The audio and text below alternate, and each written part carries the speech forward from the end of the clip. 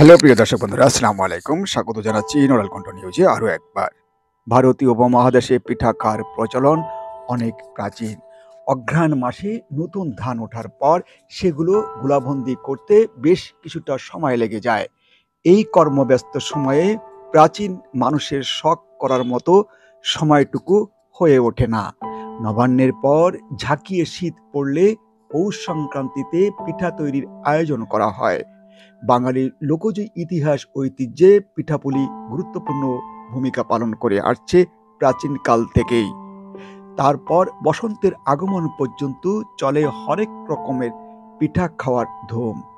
মূলত মাঘ ফাল্গুন এ দু মাসেই জমিয়ে পিঠা খাওয়া হয়।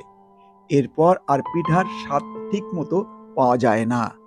বাংলা ভাষায় লেখা কৃত্তিবাসী রামায়ণ, অন্নদামঙ্গল, ধর্মমঙ্গল মনসা মঙ্গল চৈতন্য, চরিতা, মৃত্যু ইত্যাদি কাব্যে এবং মৈমন সিং গীতিকায় কাজল রেখা গল্প কথনের সূত্র ধরে আনুমানিক পাঁচশো বছর আগেও বাঙালির খাদ্য সংস্কৃতিতে পিঠার জনপ্রিয়তার উল্লেখ পাওয়া যায়। যেহেতু প্রাচীন বই পুস্তকে পিঠার উল্লেখ আছে, কাজেই ধরে নেওয়া যায় পিঠা খাওয়ার প্রচলন বাঙালি সমাজের অনেক প্রাচীন বিশাল উপমহাদেশে বসবাস করা বিভিন্ন জনগোষ্ঠীর মধ্যে পিঠা যে জনপ্রিয় খাবার সে বিষয়ে কোনো সন্দেহ নেই। প্রাচীন বাংলায় মিষ্টান্ন হিসাবে পিঠার জনপ্রিয়তাই সম্ভবত বেশি ছিল। হ্যালো প্রিয় দর্শক বন্ধুরা এসব সংস্কৃতি এ প্রজন্মের মানুষ প্রায় ভুলতে বসেছিল। বাঙালির এই ঐতিহ্যকে ধরে রাখতে এবং এ প্রজন্মের সন্তানদের এই পিঠা উৎসবের মধ্য দিয়ে স্মার্ট গার্লস হিসেবে তৈরি করতে গত শনিবার বিকাল তিনটার দিকে এই আয়োজন করে নড়াল সরকারি মহিলা কলেজ।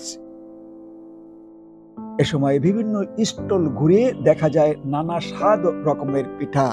তার মধ্যে উল্লেখযোগ্য পাকান পিঠা, রসের ভিজা পিঠা, পায়েস, নকশি পিঠা, দুধ চিতাই মুঘল পাকল পান্তুয়া, মালপোয়া, কমলাপোয়া, পাটিসাপটা, নারিকেল পুলি, ফুলঝুরি, জামাই পিঠা, ভাপা, চিতাই, দুধ চিতাইয়ের সমাহার।